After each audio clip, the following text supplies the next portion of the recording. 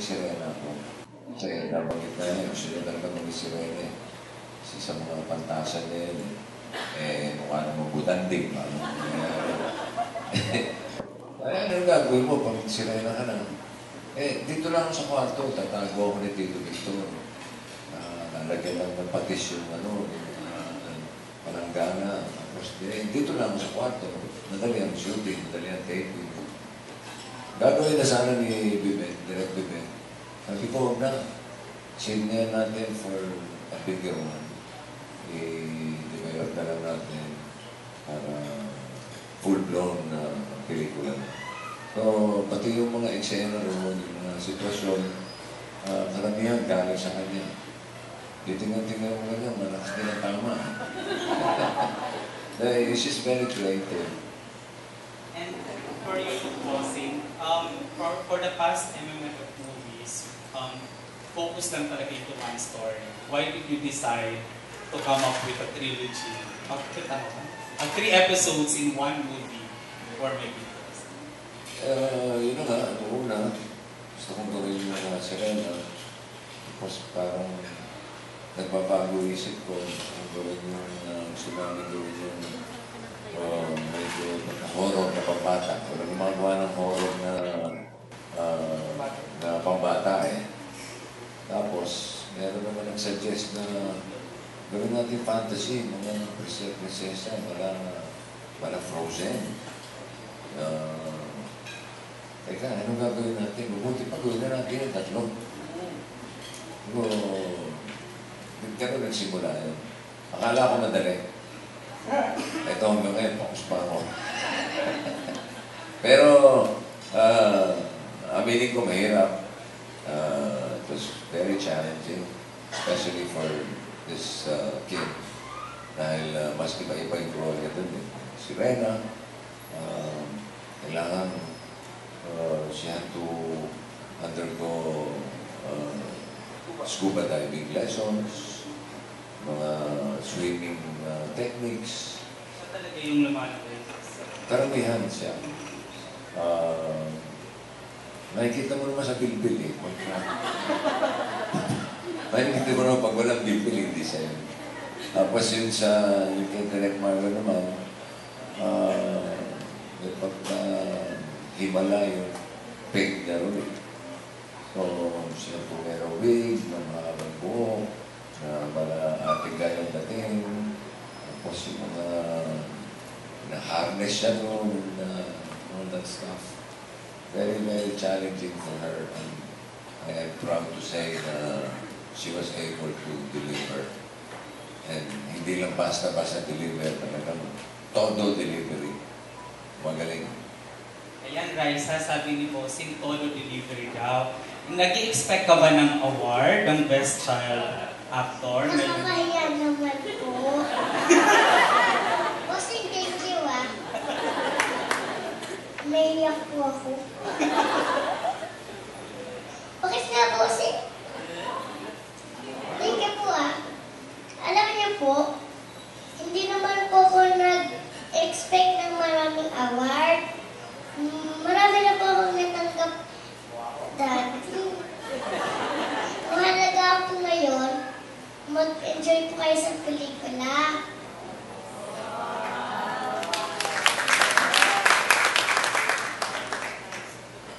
Ayaw mo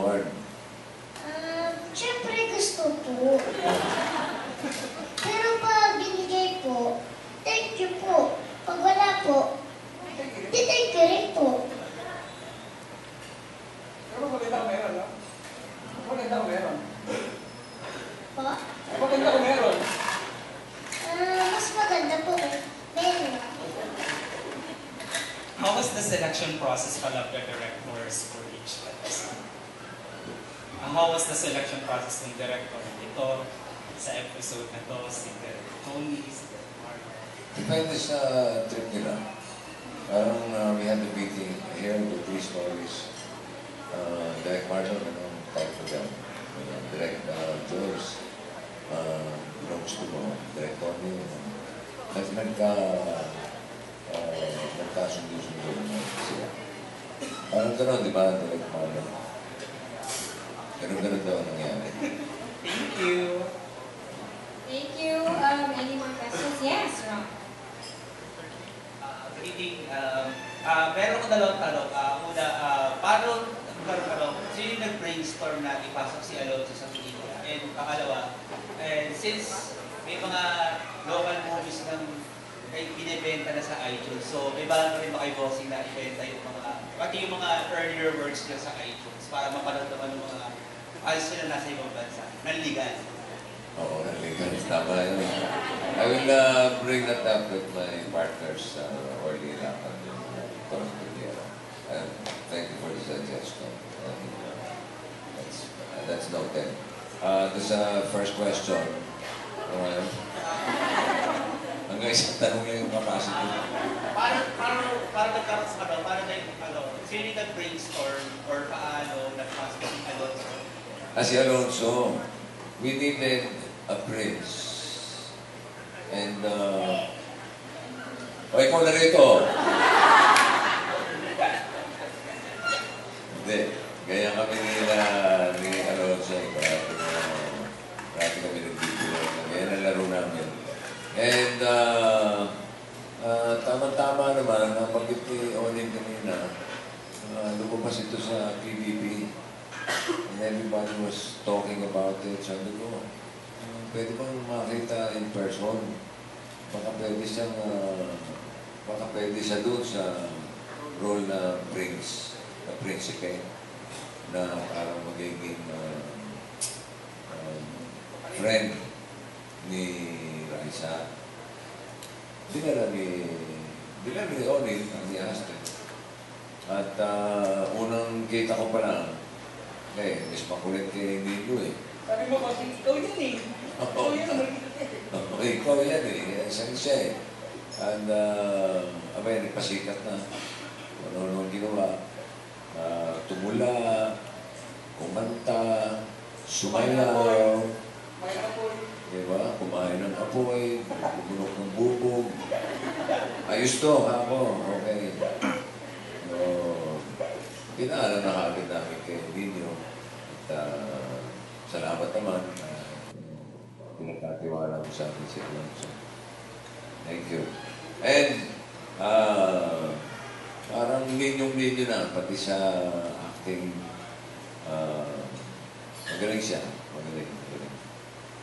Aside from the fact that he's cute and very charismatic. Magaling sumayaw niya. Pakita mo na sayaw, Alonso. Ang sasaya mo. Sayaw, sayaw. Siya. Come on. Uy, kusing. Come on. Alonso, sayo ka daw! Yes, sir. Walang music eh. Alonso! Pag tawag ka ni Raisa. Pressure. Paano na yun? Music, please. Yeah, yeah, yeah, yeah. Sir! Hey, go. Hindi mo sila yan. Go. Yan na. Sasayaw na yan, oh. Go, Alonso. Go. Alonso! Dito, dito, dito. Iwan Alonso! Pakita mo. Go. Dance.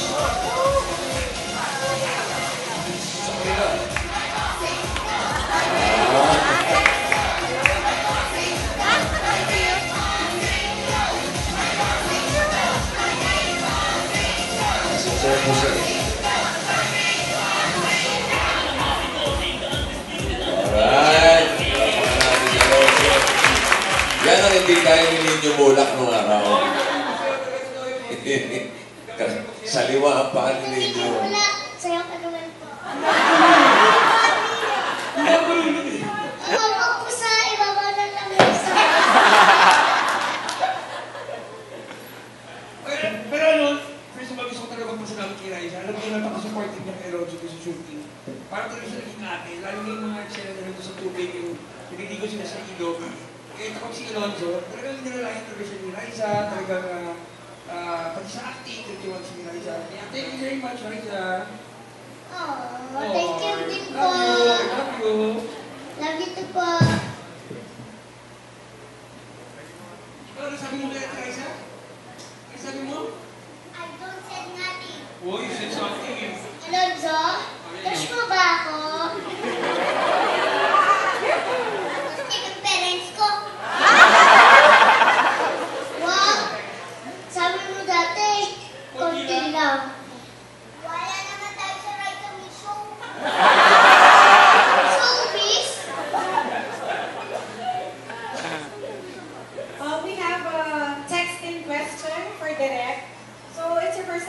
Bossing, with Big Bossing. How was it? How was the experience? Kwento naman po ng experience working with Bossing. Uh, uh, good evening. Actually, this is my second time. Yeah, second time. So, the last time, first time ko nakita was si Bossing tsaka si Raisa sa first, uh, uh, my little Bossing.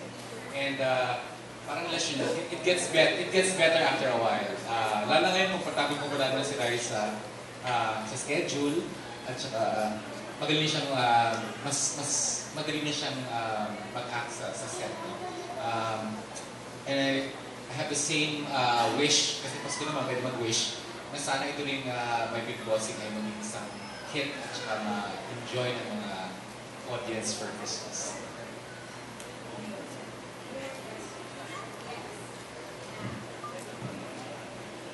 Ah, Good evening po, bossing. Matanong ko lang po kung ano yung pagkakaiba ng entry niyo po this year sa mga nakaraan po. Yung number two, ah, ano po yung ano, kaabang-abang dyan sa tatlong episode mo, ah, yung this year na entry po. Ang kabi, kaibahan nito sa uh, yung pinaka-latest no, uh, last year, yung last year, little lang yun, ito big na. So, alam niyo na, ibig sabihin, alam mo na. eh, eh, talaga naman big. Big in production, big in uh, uh, budget, big in casting. Kasi bawat uh, bawat episode may sarili sa cast. Uh, at hindi mo matatawaran yung uh, cast naman talaga. And uh, aside from the big budget, uh, big in story, it's not just uh, an ordinary patawa film. Maraming patawa. Importante naman yun. Kailangan tumawa tayo, lalo na pag Pasko. Uh, what I, am so proud about uh, with this movie, with this uh, trilogy, is the heartwarming factor of, of the stories.